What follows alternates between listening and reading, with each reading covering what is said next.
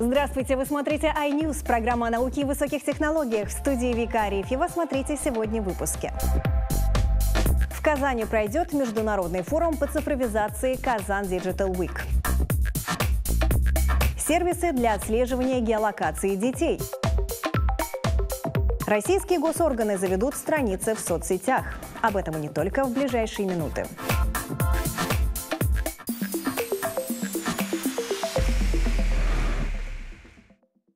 Казани пройдет международный форум по цифровизации «Казан Digital Week». Здесь представят свои разработки татарстанские производители цифровой продукции, а также будут презентованы региональные научные инженерные площадки. Участники из разных стран смогут осмотреть единый презентационный центр Агентства инвестиционного развития Татарстана, Казанский вертолетный завод, автоматизированную систему управления дорожным движением, полигон ИТС, университет Иннополис и IT-парк. Основной площадкой мероприятия станет международный выставка выставочный центр «Казань-Экспо». На форуме «Казан Digital Week» также будет представлено новое татарстанское приложение для смартфонов и смарт-телевизоров ТАТ ТВР. С его помощью можно смотреть региональные телеканалы и слушать татарстанские радиостанции из любой точки мира в режиме онлайн или в записи. Как мы рассказывали в прошлых программах, ТАТ ТВР уже можно скачать бесплатно в App Store и Google Play на свой смартфон. Сейчас на платформе представлены 5 региональных телеканалов и 5 радиостанций на русском и татарском языках. Также недавно приложение стало доступным для смарт-телевизоров. Его можно скачать на телевизоры LG, Samsung и любые устройства на операционной системе Android. В отличие от обычного телевещания, приложение позволяет смотреть любимые передачи в удобное время и в любом месте. Российским школьникам запретили использовать мобильные телефоны на уроках. Об этом официально заявили в Министерстве просвещения. В ответили, что использование смартфонов во время уроков не допускается по санпинам. При этом гаджеты все еще можно приносить в школу для экстренной связи на переменах. Чтобы узнать, где находится ребенок, родителям уже не обязательно звонить по телефону. Рынок мобильных приложений сегодня предлагает множество сервисов, которые позволяют отследить местоположение человека. Например, приложение Zenly, которое в прошлом году стало очень популярным среди школьников.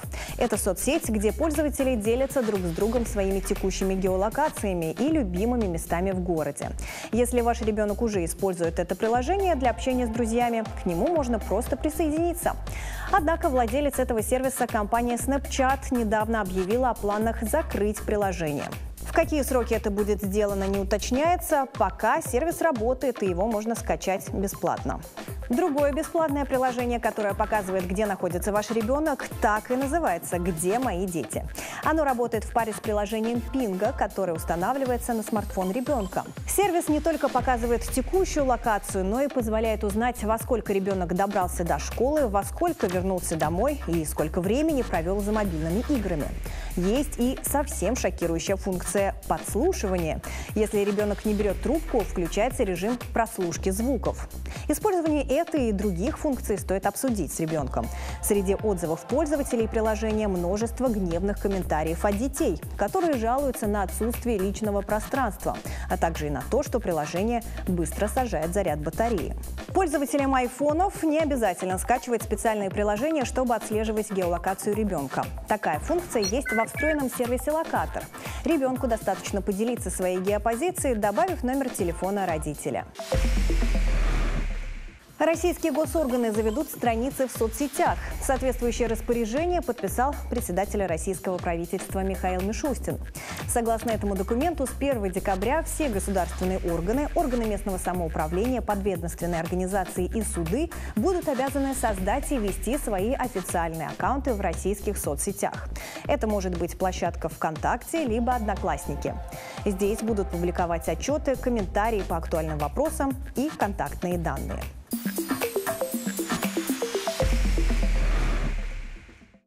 На этом сегодня все. Смотрите iNews каждый день на телеканале Татарстан-24 и будете в курсе всего самого интересного. До скорого!